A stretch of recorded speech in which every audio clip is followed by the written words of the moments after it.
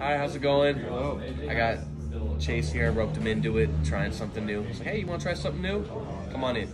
So uh, we have no idea what we're trying today, but thank you for being a trooper and trying it out. So I'm yeah, excited. welcome to Shayne's Eats. Let's do this. It looks like poop. Sweet tamarind. Tamarind. That's gonna be my guess. Well, sweet's in the name. How do you do this? Let's keep refrigerated. I hope this was refrigerated. It feels cold. Oh. um... I have a Oh. Come right in Uh, here. you open Oh, it's the It's got the roots. the poop looking thing, and then it looks more like poop on the inside.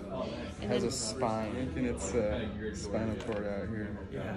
And then there's seeds inside, and you just eat around the seed. It's sticky. I was afraid a couple times. Like, yeah. man, I don't know. Make you work for it. Alright. Okay. It's funny, the youngest one of us, there's one over here in Silverdale that just opened. Thumbs up. He like Thumbs up. 10 out of 10 we recommend. Sweet's kind of sour.